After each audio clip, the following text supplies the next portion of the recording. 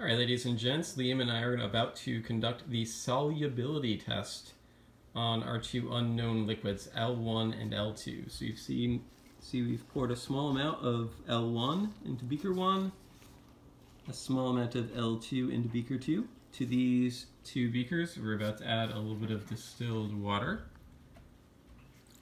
like so.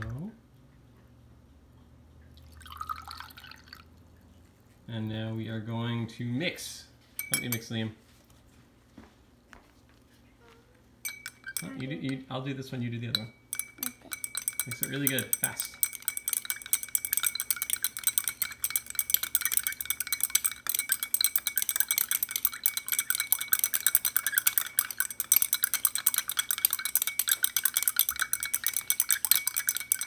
Oh. And I'm going to give you a little hand with that up.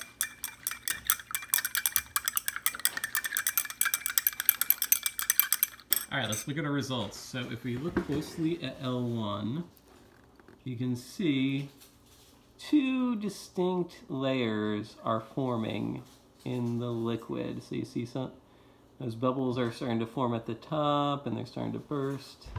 So L1, what is there of it is definitely insoluble. Now let's take a look over at L2. L2 on the other hand, no layers. It's all dissolved together. L2 is soluble. So once again, ladies and gents, L1 is insoluble, L2 is soluble. That's our results.